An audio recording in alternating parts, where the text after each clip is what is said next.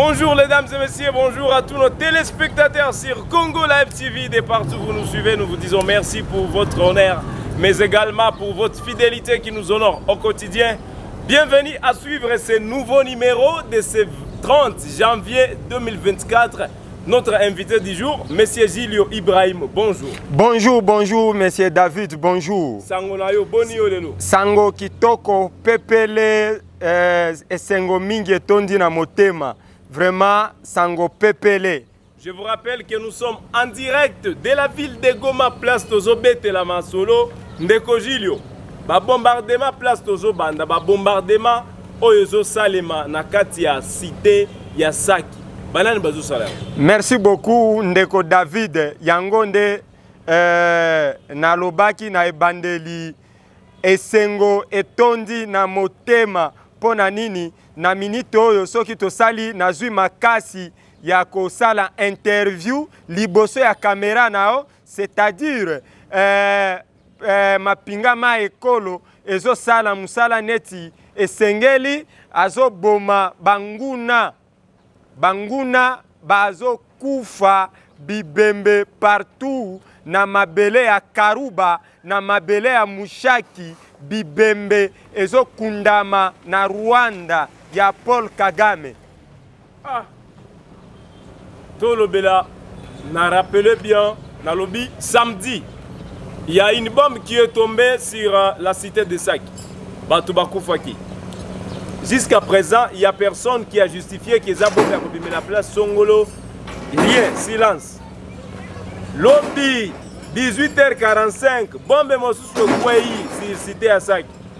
eske eza ba m23 eza bazalendu eza fardc eza bato nini wana wana papa wana eza m23 baterroriste bazokomettre bazo baacte ya terreur baterroriste ya m23 nde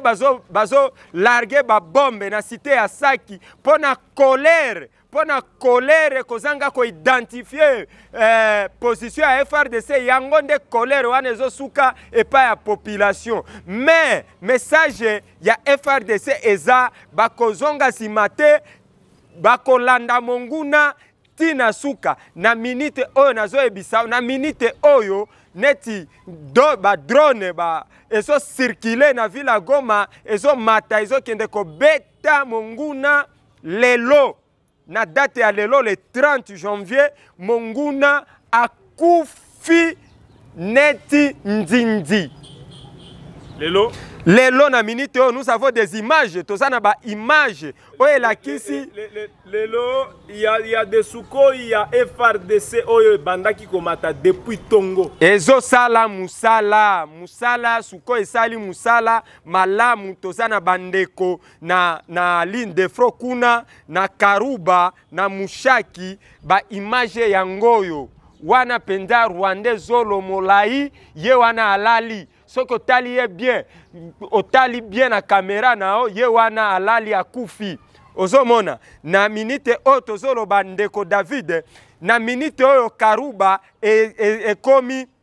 e FRDC ebotoli na, ma, na maboko ya monguna na minite oyo nazoyebisa yo yango nde mwa bute eza pembeni na ngai mpo nasala nini namela ah, à l'occasion ya nini occasion monguna akufi bazolela ti lere monguna azolela il faut biso tofete bombardement oyo esalaki na mweso ti lelo uh, armée congolaise etika kofunda kena eza vraiment uh, eza bato ya m23 babetaki yango m23 yango mpe efundi uh, eh, frdc moto abetaki yango mais m23 bato ya m23 na baposition wana baokipe pourquoi pas frdc ezosimba yango te yango nde nazoyebisa eh, yango nde nazoyebisa o oh, ndeko david eh, M23 ezosala eloko babengaka yango na lopoto bouclier humain bango neti sukoi ezo identifie bango badrone badrone ch4 ya ya frdc oyo ezosilisa ezo bango yango nde bakomi kokima na bahabitation ya nini ya, ya population yango nde babetaki babombe wana na na ba habitation ya population po emonana ke non ke ba drone na na Sukhoi nde ezoboma population tandis que nous avons une armée euh, professionnelle FRDC ezoyeba ko distinguer ennemi aza wapi na population eza wapi biso awa na goma toza na, na, eh, toza na, na, na, na frdc me ata moto akozoka pamba aza te yango nde nazoyebisa yo m23 nde ezosala baakte wana baakte ya terreur baakte ya terreur epo na preuve sinde omoni colere ya ya nini ya bombardement wana esalemaki na na nini na site wana ya ya saki na na mweso nde population emikotisi na frdc population emikotisi na na bazalendu mpo nini babi te tokoki okufa neti banyama boye te na mabele na biso tokɔta to renforcer frdc na bazalendo de façon ke tosilisa monguna une fois pour toutes On va parler de ce qui concerne aujourd'hui place Batouana Bakomeli, euh, place Boni Bazobetana, combat M23 RDF Wazalendo, FRDC. Les affrontements ont repris ce matin sur l'axe Mouchaki-Karouba en territoire de Massisi dans la province du Nord Kivu. Des rides combat opposent depuis euh, tôt ce matin les M23 RDF et les forces armées de la République démocratique du Congo sur différents euh, fronts. L'armée met en action sa flotte aérienne. Les rebelles appellent la communauté internationale et la communauté euh, humanitaire à réagir. Entre parenthèses, nous demandons à la communauté des humanitaires à rompre son silence, même si la communauté internationale reste silencieuse sur les massacres de ces villes à Mouesso, Moussaki Karuba et leurs environs, a déclaré mardi le porte-parole du M23. De son côté, le FRDC et Bengi communauté internationale. De son côté, M23 et Bengi communauté internationale. Communauté internationale et yo Kanani et Tikanani. Merci beaucoup, Ndeko David. Wana, wana, eh, Monguna Bandi Kolela. monguna abandi kolela probleme lisusu ya cese le fait eza te omibengaka oza na makasi kagame yo olobaka ke no oza na makasi frdc mpe eza eh, mapinga ma ekolo bondumbana sikoyo bitumba toyeba nani nde nani nani nde kolo mabele na nani nde akotikala na mabele oyo Koli, wana eza habitude na ye comportement na ye lere frdc ebandi kobeta ye nde abandi kolela mpo cese le fe ezala biso population gomatracienne population kivusienne to mettre en garde communauté humanitaire wana na communauté internationale wana ya mbala oyo soki cese le fe biso moko tokomi en charge na bango totika babunda balobaka ke baza na makasi bakosimba goma basimba goma basimba goma bazalaki na bule ya kozwa goma nini eblokaki bango bakozwaka chef de l'état chef de l'état le congolais de père et de mère excellence félix antoine tshisekedi tshilombo faci beto asi areponda na na question wana aloba ke ata mokolo moko te M23 ekokoma ka Goma ekonyataka mabele ya Goma yango lelo Karuba na minute oyo nazoyebisa yo ndeko Justin na minute oyo tozoloba Karuba eza sous contrôle ya mapinga ma ekolo coup de chapeau na FRDC na monguna bazolanda ye ti na kichanga toyoki bule esanze bazalaki na bule ozwa goma me bule esanze ekomi ke ifo bazwa nde bukavu mokolo moko te bakozwa bukavu bakolekela wapi sukoi ezomona bango drone ch4 ezomona bango soki bameki soki bameki soki bameki trois fois wana nalobi kiseni ekozala tombe ah, boni nayebisi yo soki bameki kiseni ekozala tombe bien Ah, kiseni nayebisi yo eza intimidation te oyo nazoyebisa yo nde eza na motema ya congolais nyonso soki bameki kotumola sud kivu ya mbala oyo kiseni tombe mpo toyebi moto oyo toza na ye probleme eza euh, paul kagame hitler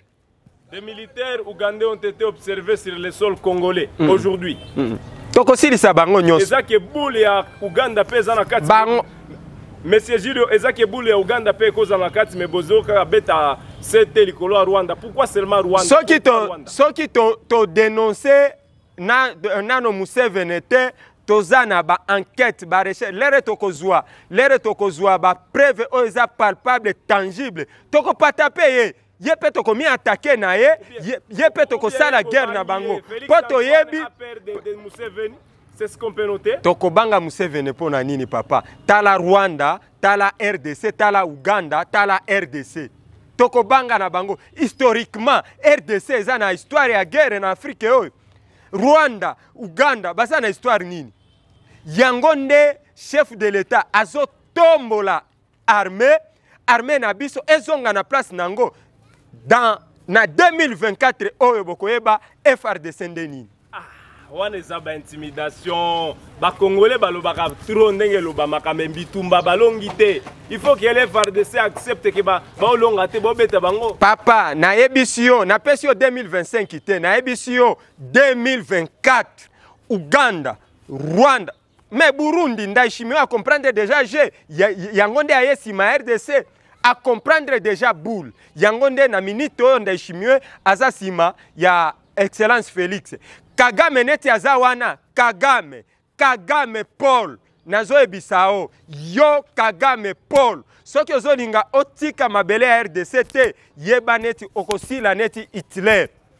ozosilisa deja barwandais barwandais basili les jeunes rwandais mpe baza soki babolole soki banini nayebi te bomi en charge nao na motu moke wana neti kagame bokanga ye bomemela biso ye mpe soki boshindi ye kagame akokota munzenze Ah, nayebisi yo tokokotisa kagame munzenze a na goma nde kagame akokangamaka awa na goma nanga aza wapi histoire ya nanga esi esila eh, eh, nanga aza wapi na minite oyo David nanga aza wapi na minite oyo azomene aza wapi azomonana esu na video te histoire na ye esili nanga histoire na ye esili histoire mpe ya kagame ezokende kosila Il y a des informations qui circulent sur les toits comme quoi au Rwanda il y a des deuils. Est-ce que c'est vrai Plusieurs deuils. Au, au pluriel, au pluriel. Les deuils avec S. ah. oui plusieurs des baofficier les officiers rwandais soki omoni bamemi ebembe na rwanda seke eza officier basoda ya molongo nyonso eh, banyama bazolia bango na parke awa ah. nayebisi yo nous avons des informations bino bobuma bino te bino nde bobuma kaka baofficier baofficier basili na, na, na zamba ya rdc Nous avons des informations, ba officiers rwandais basili. Ah, zilio. Mm. Walukuta te. Papa, ce que tali lelo na uh, na front M23 ont utilisé ka ba uh, ba mineurs pona nini ba ba soldats rwandais basili nde babandi orecrute baminere bajeune babandi okima bajeune bazokima na rwanda bazokende burundi epai ya mama sulu asani coup de chapeau mama yo mpe ocomprendre je ah. obandi obengana bango obandi obengana bango na tanzanie là il y a même les congolais qui sont inscrits sur l'affaire les congolais aussi doivent euh, quitter les lieux wana système de jeu wana système de jeu wana système de jeu boule mpo eh, ezala te ke kaka rwanda me bakongole baza na bango tanzanie ekoti deja na nini ti na sadek eboyaka eac e, e, me ye na sadek yango nde nayebisi yo wana eza eza eza baparole politike me motu oyo mama sulu azovise eza kagame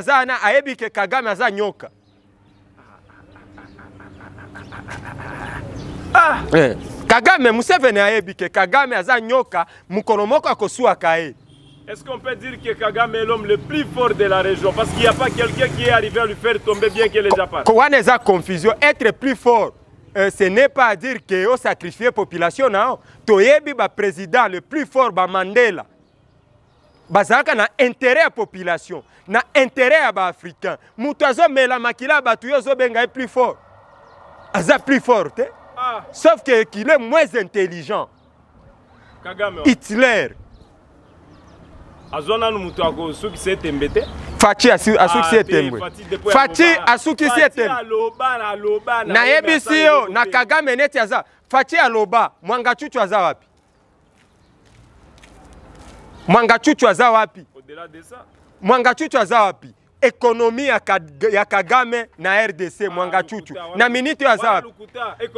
papa kagame avizaka nini abanda ovise rubar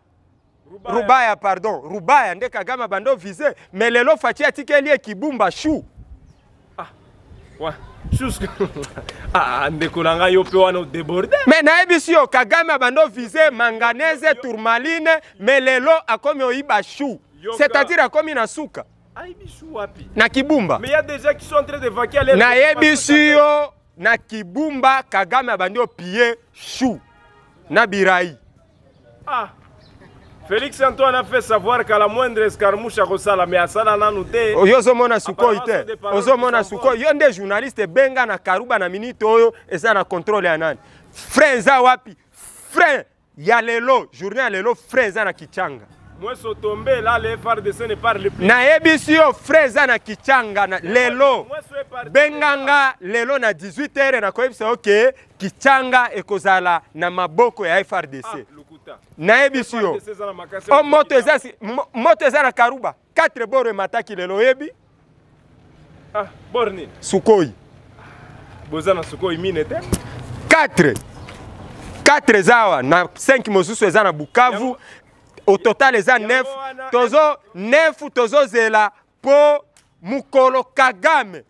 mokolo kagame akoatake kibumba akotumola kibumba awa tokoti kiseni yango wana m23 ezodetruire baavion ya frdc ya wapi m23 m23 eza maloba me bango balobaka ke bakolia bonane na goma depuis 2022 baza wapi plus de deux ans ils sont sur le sol congolais frdc faible non jamais si ma, ma papa to tondimaka mpe bato tondimaka bato m23 ya epoke ya ya kabila na m23 ya epoke ya félix yo moko sala comparaison ah. baofficier basili wapi les officiers rwandais basili na mabele awa les officiers basili ba, basili awa Mais Bazou ça déjà ma réponse. Réponse. Willy m'a fait savoir que non, on a tué deux de ses officiers. Azonga na Congo. Il va, il va répondre ça. Willy Ngoma. vigoureuse oui, yango azoboma oui, bato oui, oui, Willy Ngoma aya kolobela na Congo esukela ye neti aza na ruchuru te nous avons des informations azoloba azoloba na ngambo na, na uganda depuis frappe ya nanga wini ngoma aza esu na congo te aza na uganda soki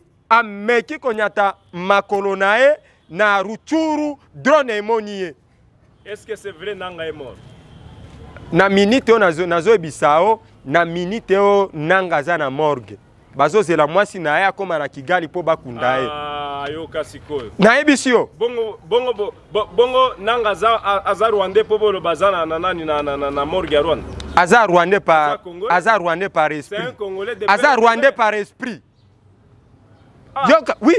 nanga c'est rwandais en esprit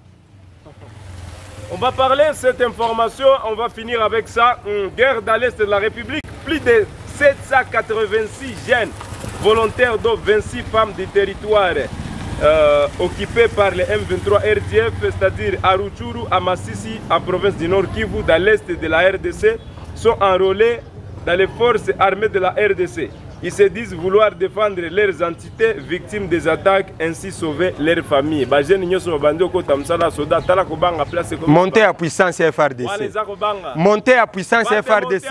Wana eza monter ya puissance ya FRDC. Ba jeunes ba bandi o comprendre que mikolo nde ekomi ngonga ya kobundela ekolo yango nde ozomona bagene nyonso bakomi osila na frdc place eza lisusu te bagene bazosila na frdc bazoya korenforce force eh, force forces armées congolaises mpo basilisana na monguna une fois pour toute eh, na manda ya faci ou rien Ah. Mm. tosilisa na masolo oyo ya pouvoir ezo mene bato bamosusu baoboya bamosusu balobi boye mais parmi lequel tozomona bana mboka certains de ya bana ya est baza na kati ya couloir wana pendant qu'il y a la guerre chez eux yo yebisi bango ni ba banani nde bazoboya bana oyo ya mboka est mm. de la république mm. bazobenda na likolo ya pouvoir pendant mm. que cce nde bitumba ezali yango nde nazoyebisa eh, biso yango nde nazoloba biso bacongolais de pere et de mare félix excellence félix chef de l'état population gomatracienne population kivusienne evotaki yo à plus de 90 pourcent osala biso nde toza bavictime ya barebellion oyo osala makasi loi chani eleka na mboka oyo mpo tozomona bapolitisien mosusu ulie bosala politike oyo ekozala na intérêt ya peuple intérêt ya population bozoluka baintérêt na bino chef de l'état kolanda bapolitisien wana daire il faut écarte bango parmi bapolitisien wana il y a des congolais en doute totia totia totia totia masolo oyo message ozobwakela frdc tosukela wana euh, message oyo ozobwakela frdc merci merci beaucoup euh... nayebaka yo obi, olinga lere na nge nalobela bato wana obimisa ngai na, na nini eh, na sujet mais pa, pa, problème eza te mais na, te nayebi, nayebi david wana je na yo il faut ozala mpe le eh, congolais de père et de mère ah. eh, eh, frdc mapinga ma ekolo coup de chapeau eh, totondi bino matondo mingi na musala oyo bozo salela rdc uh, euh, on serait toujours reconnaissant reconnaissant envers vous mais mais ba officier ba officier ah. eza na ba officier mosusu oyo bozo collaborer na monguna attention kamera na biso kamera ya population esi emoni bino kamera na biso toza a contact na chef de l'etat mokolo oyo nkombo na yo ekopatamaka epai ya chef il faut oyebake biso bato tokomisaki votre contact tosukela wana merci beaucoup euh, contact na biso eza na plus 243 kode ya mboka wana il faut ozala uh, congolais de père et de mère mpo banda na kode ya mboka 97 uh, 27 144 79 bwakela bajoueur oyo bokende so bakomema kane yango na congo bwakeli bango message nini merci beaucoup léopard léopard de la république démocratique du congo equipe nationale bozongi na place na bino neti mapinga ezongi eh, na place na bino victoire eza kaka ya frdc te na kote mpe ya sport rdc ezozonga na place na bango lelo tomoni na manda ya félix antoine tshisekedi tshilombo le fils de sphinx de limete eloko nyonso ezotombwama me chefu kobosana jeunesse jeunesse jeunesse, chef. Mesdames et messieurs, c'est la fin de cette émission avec notre ami Agilio, invité du jour en direct de la ville de Goma sur Congo Live TV. De partout vous nous suivez, de Brésil, Washington, Afrique d'ici, nous disons merci pour votre fidélité, Monsieur Julio. Merci, merci, merci, beaucoup, David. pour un nouveau numéro. Merci beaucoup, David.